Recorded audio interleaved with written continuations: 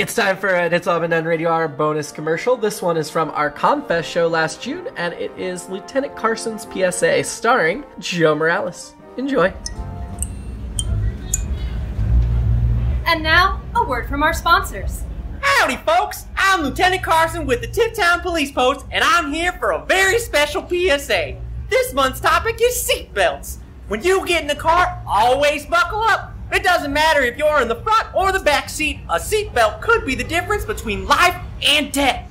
I remember this one time we were called to the scene of a really horrific car accident. The little boy in the back was, wasn't wearing a seatbelt. He was in the middle and he sailed clear over the console and smashed his head right into the windshield. There was blood everywhere. We survived it, but the glass damaged one eye so bad, he now has to wear an eye patch. If you look underneath it, there's a hole that's all gross and crusty, and I just don't. Oh, oh, move on? I sure, I can do that. Seatbelts will just always keep you safe.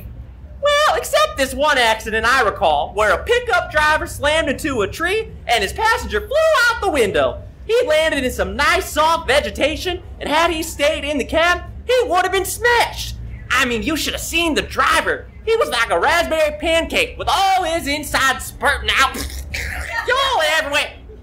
Oh, oh, move on again? Oh, all right. So remember, kids, when you're stuck in the car, always buckle up. It could save your life.